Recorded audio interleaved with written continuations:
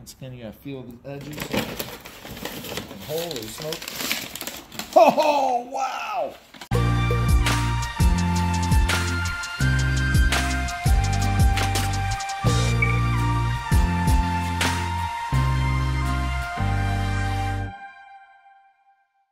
It's hanging from the wall.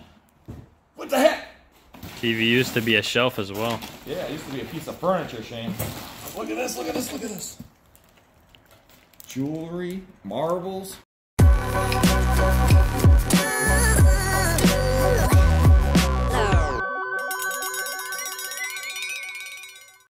Hey everybody, how we doing? Robert Zjaba, auctioneer extraordinaire with Second Cents Auctions, and I hope everyone's having a wonderful, great day. You won't believe this. My buddy, he spent nineteen over nineteen hundred dollars. By the time you add the buyer premium and the tax, it's probably about twenty two hundred dollars for a storage unit, ten by ten. Myself, conky Flipping Adventures, we were both watching the unit. We liked the unit. We saw some old toys in there. It was all shelves. We saw tools. But guess what? I just can't spend that much money on a unit that I just didn't see enough value, ladies and gentlemen. I got at least double my money, and that's like you're trying to get 4,500 bucks. It's a lot of money to get out of a storage unit. I've been buying and selling these for a long time, and trust me, I know it's tough. But he brought all this stuff for me to sell, and he still has stuff that he at his place. So I'm gonna go through the stuff. He dropped it all off. I didn't get a chance to see all the stuff. They set up on the table, and I can't wait. So, who knows what we're going to find? Once again, if you haven't subscribed yet, what are you waiting for? Subscribe, hit the bell, get your notifications, and best thing you can buy this stuff. www.2ndcents.com, www.2ndcents.com, and I'll toast to that. Oh, sorry. Look at this old, old toaster. It's actually pretty cool, huh, Shane? Like that, it's like a weird shape. Yeah, it has that nice, cool shape to it. It's all chrome, and actually, it's like 1950s there. It's highly desirable. People are actually kind of looking for these. And I bet you it still works because everything made back then still works. You buy something now, you're lucky to get five years out of it. Oh, look at these cast iron. Ooh. So, ladies and gentlemen, when you're buying cast iron pans, Griswold. This is one of the names you want to look for. One of the best out there and really easy to do research on it. They had different patterns so you can make out what years they are. So you can look at how this Griswold is, and then it's numbered right here, number eight. And this is, you know, and you can, it has all kind of stuff on here. It says cast iron. So very easy to find, similar one like that. But that's a nice little pot. I hope all these are as well. Oh, nice. Now look at this one. If you look, you see how the lettering is slanted. This is a much older version, you know, and some of these can be 100 years old or more. And the best thing is, highly collectible. It's cast iron. This little bit of rust, all stuff, you can make this look brand new again. Easy, easy, easy. You can make these look brand new. And some of them, Griswold pans before for over $500. There's some out there worth $1,000 in the right condition. Oh, look at this. Another Griswold right there. See, this says a 719B. It's a number 12. So this is a 12 inch pan. And oh, this is Griswold. Size matters, ladies and gentlemen. It doesn't say Griswold. Man US, but that's a large cast iron. That's probably a 14. And I know the bigger the pans, the more they're worth. Right there, that's a good score my buddy got. Some of those pans could sell for 80 $100, maybe more. So I have to do some research on them. He said, that I, I, I mean, I saw the unit was full of tools. He brought all kind of tools. I mean, it's good tools. There's a Ridgid pipe wrench. Now, here's the thing out there a lot of people don't know. Vices. It's been a big, these have gone up a lot since I started this business over 12 years ago. And now there's vices out there people are getting 100 200 $300 for. And right there's the name of the vice. Kind of hard to make out. It was made in the United States and Massachusetts. You know it's because everyone needs a little vice. Everyone needs a little vice in life. And uh, my vice is, it's heavy listen, vices. so who knows? We got a light up here. Oh, this is a dovetail jig. This, this is for doing woodwork, where you can make cabinets and drawers and things like that to go together. And what's in the box or the tote? Okay. Not what I expected. We got some brand new sheet sets, some reindeer, and uh, Barbie dolls. And more tools down there. So we gotta go through all this other stuff. We're gonna make some space. I know it's gonna be some more amazing things. So I seen the unit. One thing I did see was some toys in there, and he said this box has those in there. So I can't wait to see. Oh man. Wow. Wow. Now that looks cool. So, first thing we'll have to do is take this out right here. This is a Hubley Transportation car hauler. Okay. Cars will drive up on there, cars will go up on top of there.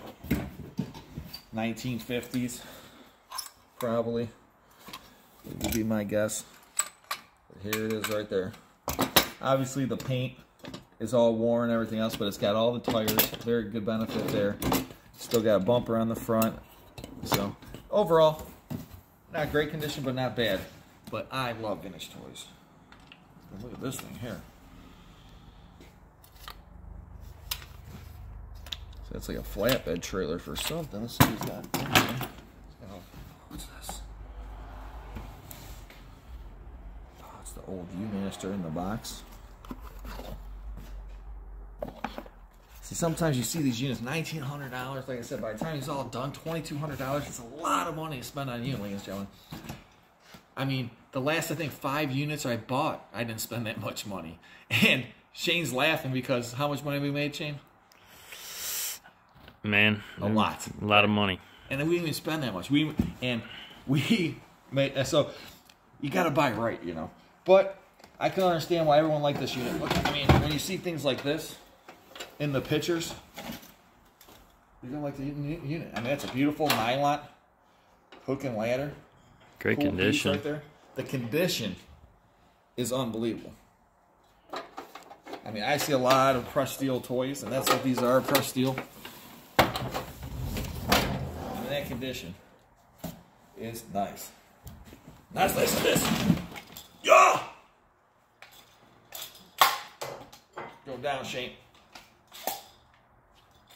So shoot something. I think marshmallows maybe or something. That'd be pretty cool. It says Newell Air Fire Submachine Gun. Pretty cool there. So some, you put something in there, it shoots out, man. What the?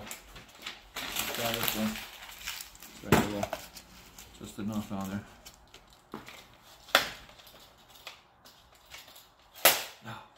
I'll find something, but it's pretty cool. I never seen one of these before. So, if you guys seen one of those, let me know in the comments. Maybe you had one of these when you were a kid. Oh, nice. This is money here. Old fishing reels. And fishing reels, one of those things, they could be worth $10, $20, $100. You really, they're all marked on the side. See, that says a Penn Peer, number 209. Easy to look up. Once again, condition. Like that could be Bakelite right there. And makes them more valuable. This has an orange one. This one has white. And little things like that.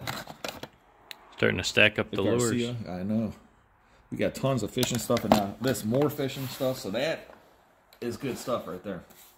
I mean, you know, I'm a little mad I didn't buy this unit, but what are you do? Now this, What time is it? you see what it says there? IBM. That's right. So just that automatically takes the price. It's an IBM vintage clock.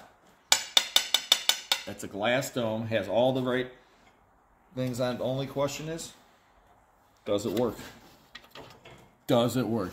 So we'll test it out. We'll see what time it is, see if it works.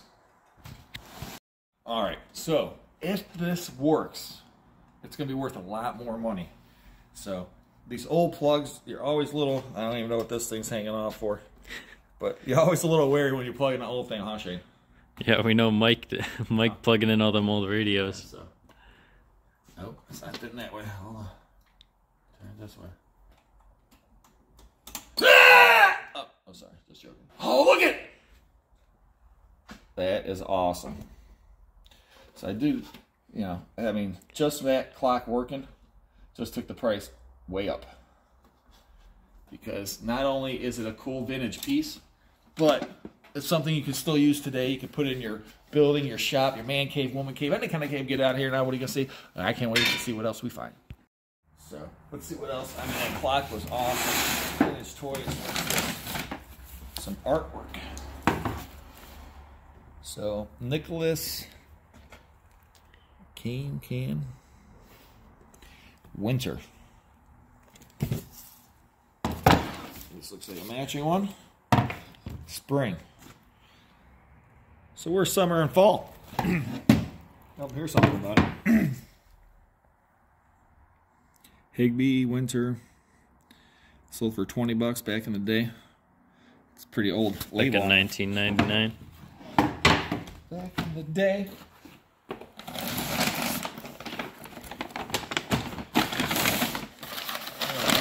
Oh, Ooh, that's nice. So it looks like Fenton ribbon glass there. It says Silver Crest. That's what he put inside here. You always got to check. If you use your fingers around the rim like this, you'll feel any little chip. And like I said, a chip like this will take value way, way, way down. That's carnival glass right there. It's a nice little piece.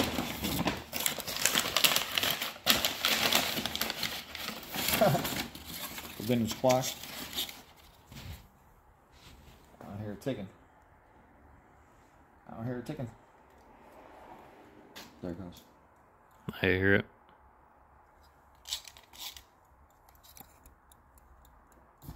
Tick tock, tick tock. Oh man. Is there anything in here? okay. That's pretty cool.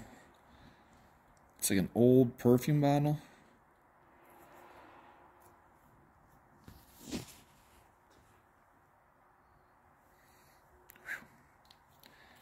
Very decorative. Oh, nice. Looks like we got a clock lot. Another old clock. Oh, nice. So you got the brown face, you got a white face one. They made different faces. It, it makes them worth different amount of money, more value. They have different colored clocks. Just like anything, everything's collectible. Just really depends.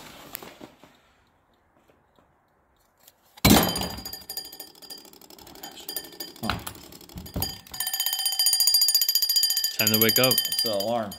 I'm dropping it. Time to wake up. Time for school. Get to class. Get to class. what else we got here? Some more milk glass. Could be Fenton. Once again, you gotta feel the edges. And holy smoke. Oh, wow! Look at that one. Is that cool looking or what? And you look at this is really old. You can tell it just got all the brass. You can see like the crazing on here. There's patent dates over here, or patent numbers. And uh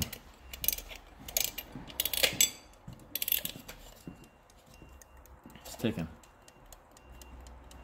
So very cool. This is a Big Ben. These are little Bens or Baby Ben.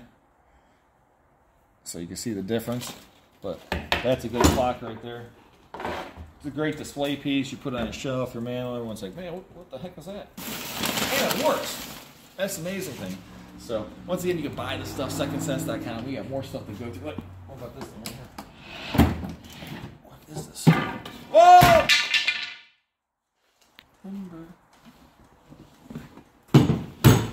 Alright.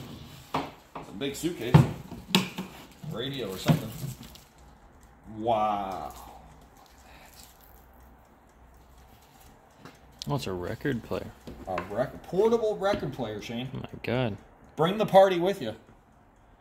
You don't need your iPhone no more. You don't your- need a your boombox. iTunes or nothing. Right here, just listen to this. Take it anywhere you want. Mike could throw one of his Jimi Hendrix records on there for you guys and just. Oh, that's not Jimi Hendrix. So, we'll grab some more stuff. Let me clear up some of this. Let's see what else. We pull that stuff out of this. First of all, this is a nice copper pot. People use these. There's the lids that go with them too. One time I had one of these that was converted into a still, and I think it sold for two hundred fifty dollars. So, look at this. Fellowship of the Ring Tolkien. This is this the first edition? That's the question. No, this is the 16th printing of the book. So, not going to be worth a lot of money, unfortunately. But it's a nice book.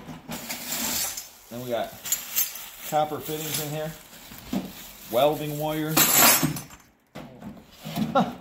Nightmare Before Christmas? What? Super pop up? No way. Oh. Is that cool or what?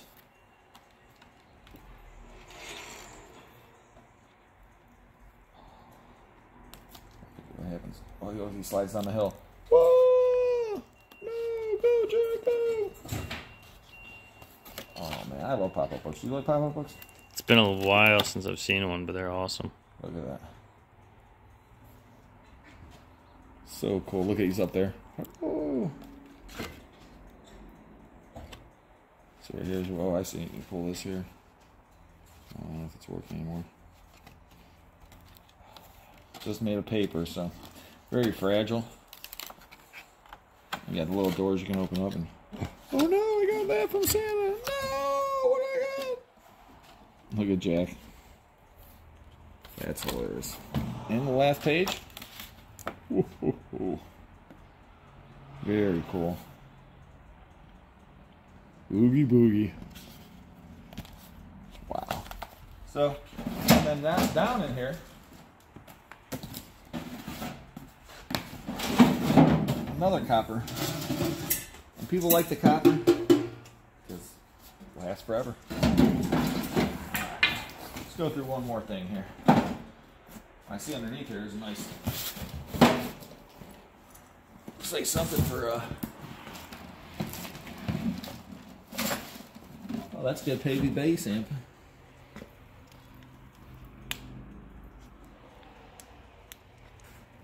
Instrument system. Interesting. Uh, it's in the box.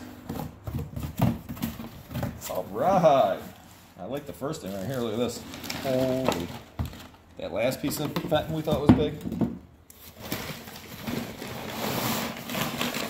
What is this? Wow. That's vintage goodness right there. These are actually called TV lamps. So people would put this on top of the TV back in the day, Shane, when you could fit something on top of your TV. It's the problem with TV now. You can't even put nothing on top of your TV. Just hang it from the wall. What the heck? TV used to be a shelf as well. Yeah, it used to be a piece of furniture, Shane. Look at this, look at this, look at this. Jewelry, marbles. We'll get to that in a minute.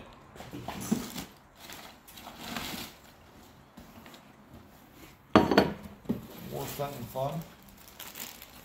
So we got rosaries in here.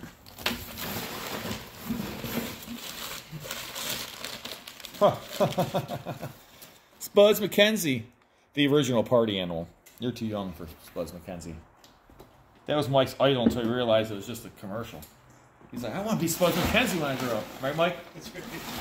But who didn't want to be Spuds MacKenzie? He's the party animal. He'd hang out on these boats and just party out. Oh, that's nice. You know what that's for? For oil. That's right, Shane. When you used to go get oil, you get one of these, take it to the store, and they would have a big thing, and they just pump it, fill up the oil, and when you go home, you'd be like, whoop, pour it in, good to go.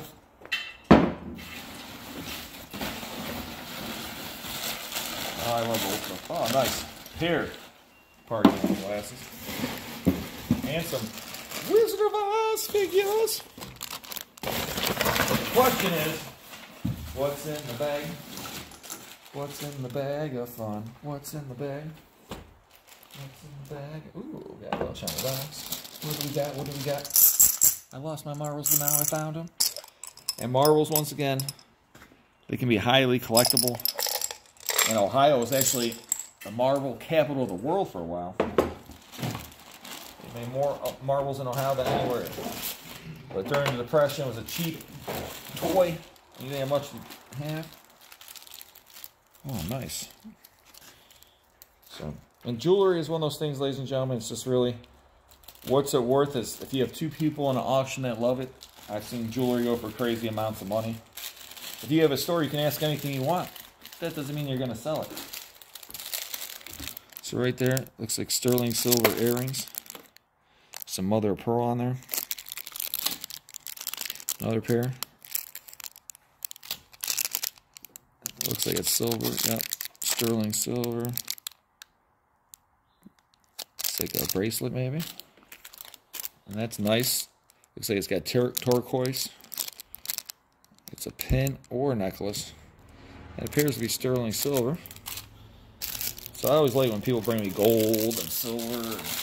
I'll take it. I love selling stuff, and that's easy to sell. What the heck's in here? No way. Feel like this. Dun dun dun dun dun dun dun dun dun dun dun dun dun dun dun dun dun. Shark teeth. That's right, Shane. I pulled these out of my leg earlier this year. Oh. sorry. I used to swim in the ocean. I lived in Florida for two years, ladies and gentlemen. I swam in the ocean almost every night. By myself, no one else on the beach, no one else. No, everyone's like, you're crazy swimming in the ocean at night. I never got attacked by a shark. A couple jellyfish, but that's always going to happen. What's in the bag? Oh, nice. Holy smoke. If any of those are real, could we have some diamonds there? All right, what's in the box this Shane? No, this one's empty.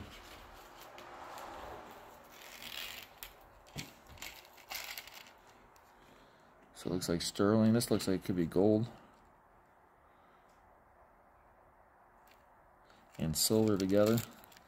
It has gold accents on there. See that? Looks like rose gold and regular gold on it.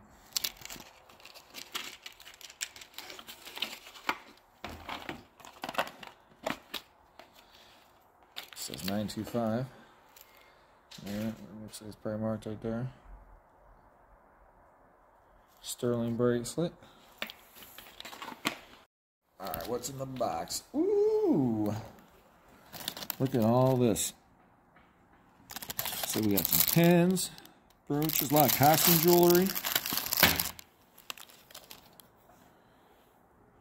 But jewelry always sells.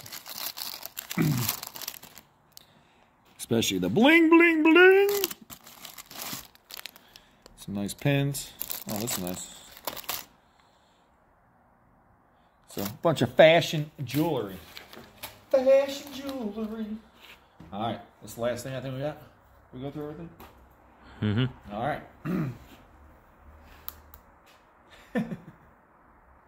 Not what was I expecting, but it looks nice. Just a nice decorative pin. Man, you just never know. We still have all this other stuff he brought. I mean, like right here, look at this vintage clock. Once again, if you haven't subscribed, subscribe. Hit that bell. Get your notifications. Give us a thumbs up. Check out our other videos. And you can actually buy this. www.2ndcents.com. Another vintage clock. Glass face. And, I mean, look at this old skateboard right here. That's pretty cool. So, you guys gotta watch our videos. Bid on the stuff in the auction. You can even see me hopefully not hurt myself. I'm going for it. Hold on. Watch this shit. I'm gonna flip out or flip. I'm going for it. Ladies and gentlemen, I used to be a skateboarder back in the day. Oh. Alright. Can you ollie on a skateboard this small? I'll probably end up breaking. I'm so heavy. Only good thing is it's solid wood. Then do one of these, Shane. Ready? For the grand finale. One, two, three. Oh. Do a kickflip. So appreciate everybody out there. Thank you so much. Have a great day.